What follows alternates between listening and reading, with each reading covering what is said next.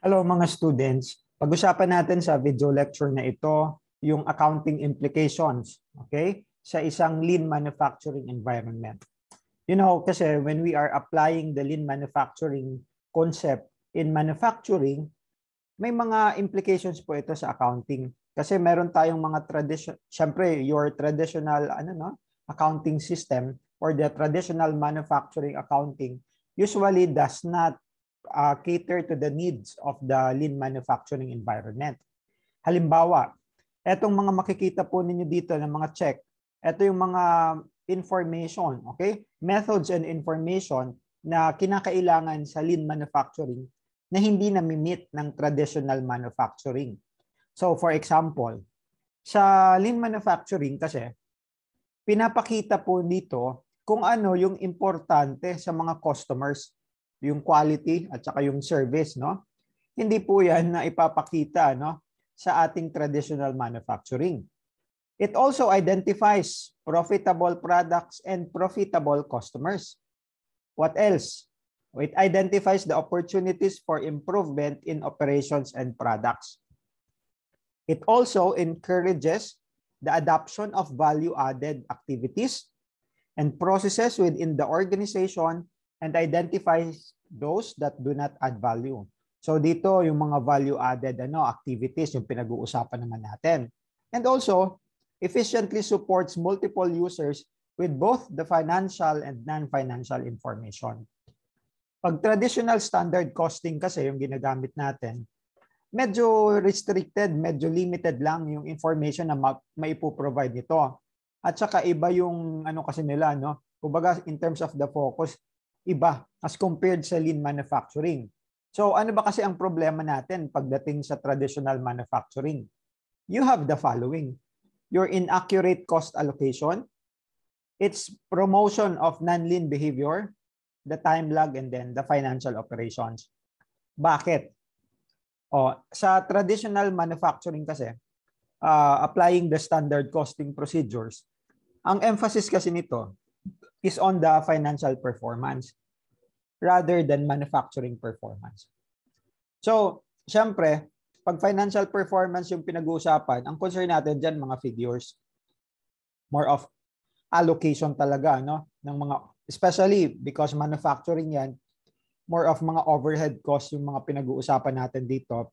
So how do we allocate them, no? Mga standard costing techniques na yon, it emphasizes financial performance. Pero sa lean manufacturing kasi, manufacturing performance yan. Okay? And going back dito, hindi lamang po yung manufacturing per se, pero in terms of the quality, the service, no? Yung mga tao, okay? Uh, application of technology, yung system, yun yung focus ng ating lean manufacturing.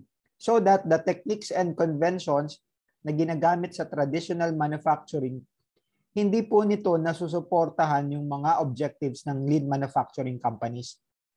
So ito po ang mga nasa site natin na deficiency ano sa standard accounting system. Una, pag-usapan natin itong inaccurate cost allocation. O di ba doon sa pinag-usapan natin sa previous video lecture sa uh, tawag nito sa CIM, makikita ninyo or meron tayong ano no, not sorry, not the CIM, pero yung uh, tawag nito, evolution kumbaga no, from the traditional manufacturing setup and then papunta sa island of technology and then your CIM. Pag tinignan natin yung ating mga product costs, okay? Siyempre, alam naman natin na coming from the cost accounting perspective, no? We have your direct labor, you have your materials, and then your overhead. At yung overhead na yan, madami po yan. Pagdating sa traditional, malaki yung ating direct labor. Okay?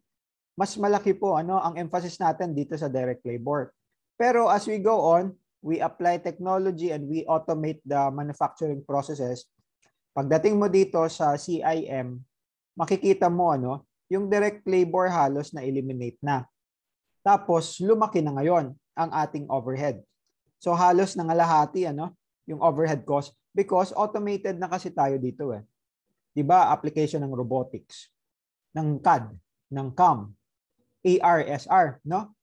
Or if you forget what I'm talking about, balik lang kayo ng isang video before.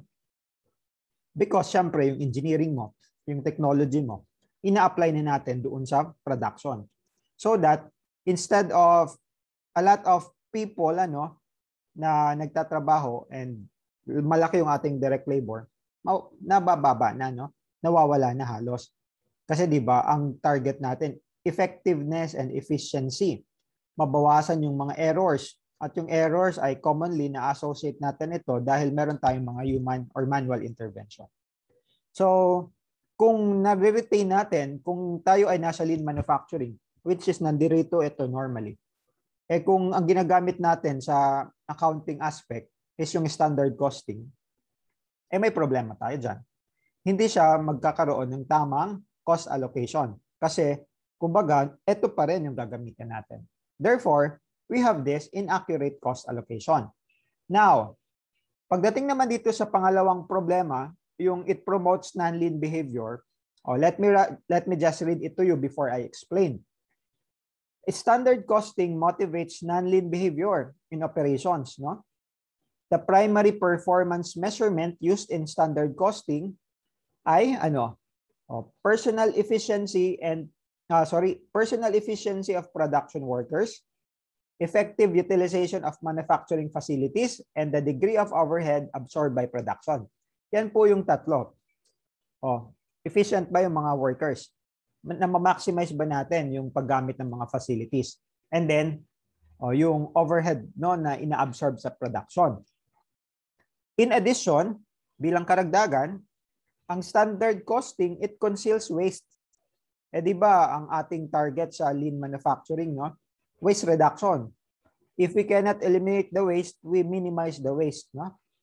within the overhead allocations and is difficult to detect. So medyo mahirap ano kasi na-absorb siya. To improve their personal performance measure, management and operations employees are inclined to produce large batches of products and build inventories. This built-in motivation is in conflict with lean manufacturing. Kasi going back to the previous video lectures, nagkakaroon tayo ng overproduction dito sa ating traditional manufacturing setup. Nagpo-produce tayo ng mga large batches of inventories, no? Of uh, of products, sorry. Uh, tama naman, inventories, finished goods na nga lang ito. So yun yung nagiging problema natin, no? Hindi kasi siya promote uh, hindi siya nagpo-promote ng non-lean behavior. Eh di ba nga ang target ng lean manufacturing, well applying your just in time concept, di ba? uh, we only produce what we need. Okay? We focus on the demand, not on the supply. So dito, sa traditional manufacturing, it's more of the supply. Kaya meron tayong overproduction. Next, time lag naman. Standard cost data for management, uh, management reporting are historic in nature.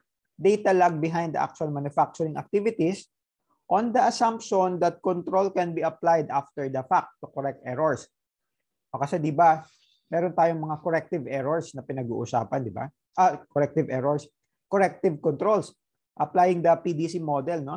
Preventive, detective, corrective. Pero sa lean setting, kinakailangan agad malaman ng mga managers on the ground, no? Mga shop floor managers kung ano-ano yung mga abnormal deviations kung meron man para magkaroon agad sila ng uh, immediate information. Kasi kinakailangan nila in real time may mga machine ano ba breakdown, may robots ba na mga out of control.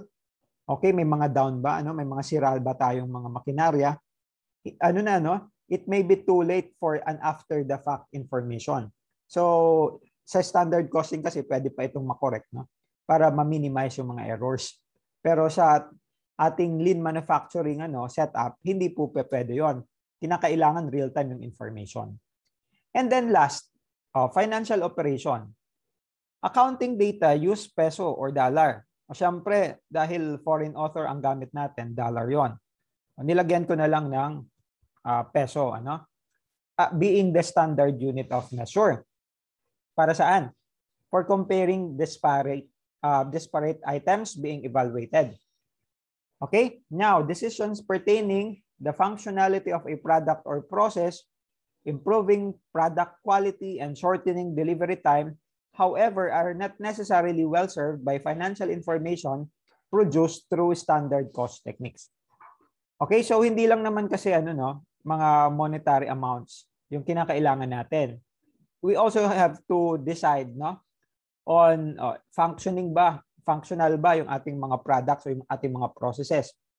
Paano ba natin ma-improve yung product quality? Eh, hindi naman yan masasagot ng amounts, no? Paano ba natin masu-shorten yung delivery time? Those are non-financial information, ano? That not necessarily that are not necessarily served by financial information na pinoproduce ng standard cost techniques. So yun ang nagiging problema. Kasi nga sa, trad- sa traditional accounting information, financial performance yung pinag-uusapan, yun yung orientation. Whereas pagdating sa manufacturing, uh, I mean sa lean manufacturing, ang orientation, we are leaning towards manufacturing ano, uh, manufacturing efficiency. This one ano, balikan ko lang. Manufacturing performance. Okay?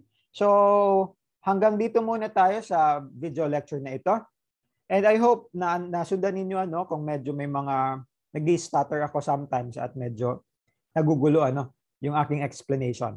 Pero sana malinaw in general, pero let me know na lang kung meron kayong mga katanungan. I'll see you sa part 7 ng ating video lecture on chapter 7, the conversion cycle. Bye-bye.